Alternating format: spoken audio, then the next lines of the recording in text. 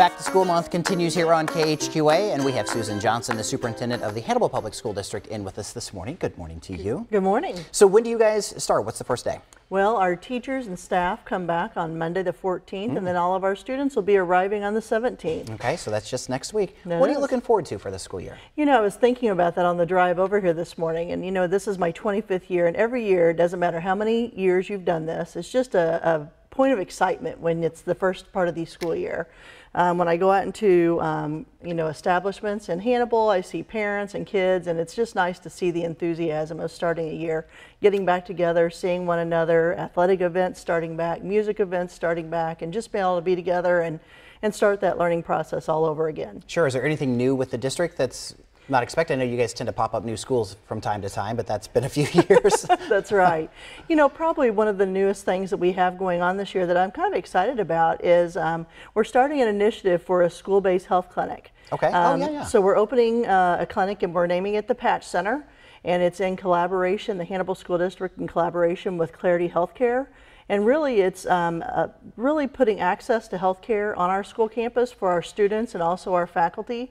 And so we're really excited for that because we obviously understand the importance of um, keeping our staff and students healthy. Yeah. Because if that's the case, you know, they're a lot happier and plus they're able to be at school learning and working.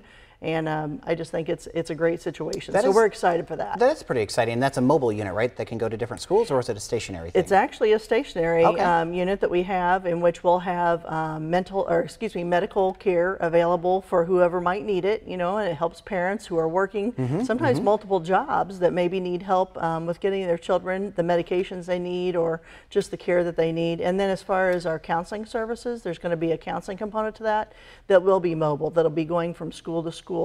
And I'm really excited for that because um, a lot of times our children who require um, some counseling services, you know, it's very important, but they get pulled out of the classroom a lot. Uh, and with moms and dads having to take off work, taking them to the counselor, and then bringing them back, they lose big chunks of instructional time. Even though it's important, uh, I think that'll be really helpful. I see what you're saying. So that'll be done right there on site. Now, is, is patch an acronym for something, or is it a play off the pirate? It's a, it's a play on the Pirates, Okay. and it's, uh, I'm going to see if I can remember this um, Pirates Access to Clarity Healthcare. Oh, nice. So that works out very nicely. yeah. Okay. Something else we're going to talk about is on the 21st is a solar eclipse um, that's coming through. What's Hannibal teachers doing for that? You know, it's been an exciting time, kind of making many of us reminisce on many times our childhood and some of the Yeah. experiences we've had. Uh, some of the things that we're going to be doing is uh on the 14th, when all of our staff is back, um, a couple of our science teachers at the high school are actually going to be talking to our staff. Uh, just getting everybody back in the groove since it happened so quickly after the start of school about some instructional activities that can be used with our students in the classroom to make those extensions into the classroom so that they can learn from that really monumental experience. In addition to that, we have um, purchased um, viewers for all of our staff and students so that on Monday the 21st, when that occurs, we can all take part in that.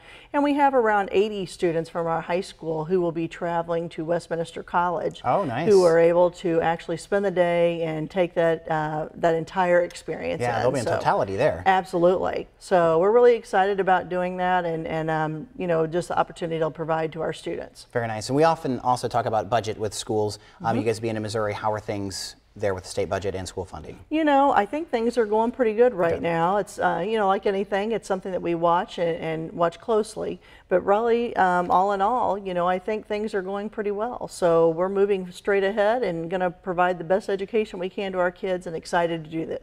Do that. Absolutely. As an alum of Hannibal High School and And we're proud of that. all the way through kindergarten. Susan, thanks so much for coming in. It's great to see you. Thank you so much.